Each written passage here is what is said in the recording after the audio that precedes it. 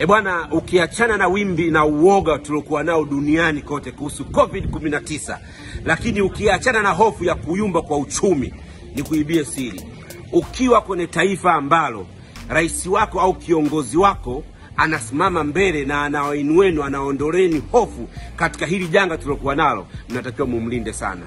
Sasa nakuibia siri, Tanzania ndio nchi pekee duniani, Tanzania ndio nchi pekee duniani rais wake amesimama na kuongea na wananchi wake na kuwaondolea hofu wananchi wake. Leo angalia, jana juzi, watu wamerudi makazini, watu wanafanya shughuli zao, watu wanafanya kazi kama vile hakuna kitu, na jambo zuri zaidi, watu wanafanya kazi huku wanajilinda watu huku wana, wanajikinga, wamevaa barakoa eh, wamevaa gloves eh, wengine wanapeana distance. Ni raha, utendaji umerudi, uchumi unarudi kushamiri.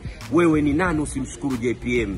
JPM ameturudisha morali za kufanya kazi, amerudisha morali za kuingia mtaani kwanza kufanya shughuli zetu za kila siku. Mimi nakwambia kitu kimoja, tuendelee kumwombea JPM, tuendelee kumwombea rais wetu, kwani tutafika kwenye nchi ya hadi tunayoitaka. Mungu ibariki Tanzania, Mungu ibariki Afrika.